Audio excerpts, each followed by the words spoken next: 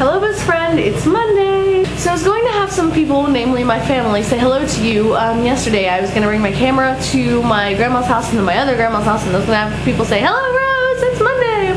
But I forgot my camera, so...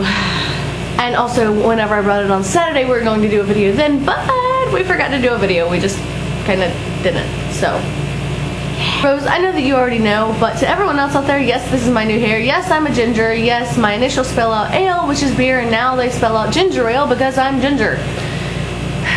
My whole life I've kind of wanted to be a redhead, um, especially because I'm 80% Scott Irish, so it's a really big part of me, and I've always been blonde, and I've always just kind of, I don't know, I've always just wished that I could be a redhead, and then I never even thought about dyeing it red and then I was just like well know maybe I could and then we went in the store and I wanted to get like strawberry blonde but nobody sells strawberry blonde. So I picked up this light auburn color and it said you know dark blonde would be this color and I'm like oh well that's pretty and it was you know blonder than this is.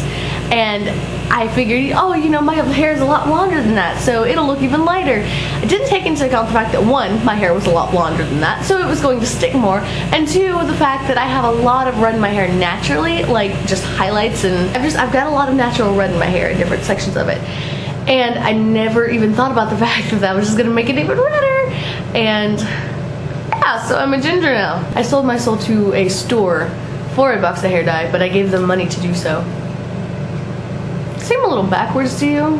It is currently 8.05 in the morning and I'm exhausted because I had a core paper due today and it's, I mean it's still due today obviously and I haven't had core class yet. Um, but I stayed up last night until like a little after 1 writing my paper, which for me normally isn't too late, but I really was exhausted already, especially because, you know, all the Easter things and the family things, and yeah, so I was really tired. And then, um, so I had to write my paper and everything, and then, so I had to get up at 6 and then we had to leave the house promptly at 6.40 and then I had to sit in the cramped seat in the back of the truck. And that seat always makes me feel so claustrophobic. And I'm just like I always have to focus on something. So I was focusing like touching my head to the top of the car so that I wouldn't be focusing on how tiny of a space I was in. I really enjoyed seeing you on Friday although it was a terrifying experience. And I still whenever I was trying to go to bed last night I could just it was still in my head. And it was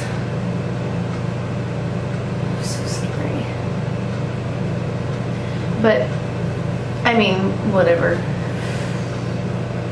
It'll be fine, I guess.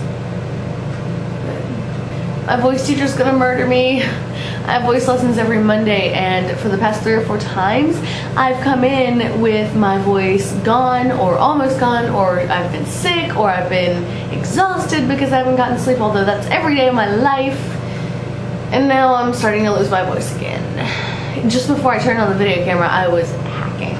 Like, I was coughing really hard. And I really want the evil tiny chickens to get out of your head.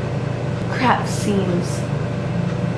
First read, no. First scene read through is today or Wednesday, I don't remember. Ah. I love you, best friend. Wait, wait.